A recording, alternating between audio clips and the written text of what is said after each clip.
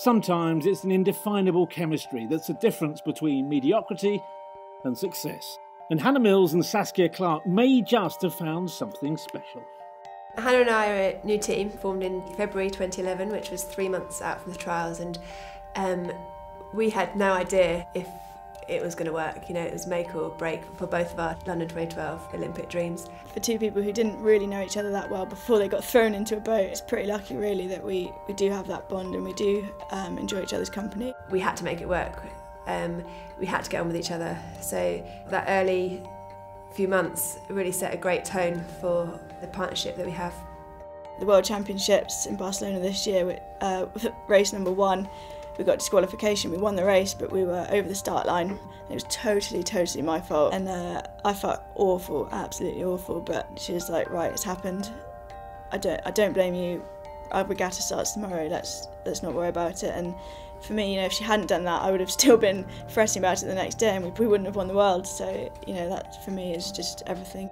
It was I think hugely significant for Hannah and I um, to finally win a gold medal at the Worlds. Uh, we've had I think four or five silvers over our partnership and uh, you know we're beginning to get maybe slightly known as the bridesmaids and it just gave us an absolutely huge huge boost in confidence and it's the first event Saskia and I have won together. That's something we really, really wanted to achieve before the Olympics, um, just to prove to our competition and ourselves, I suppose, that we, we can win.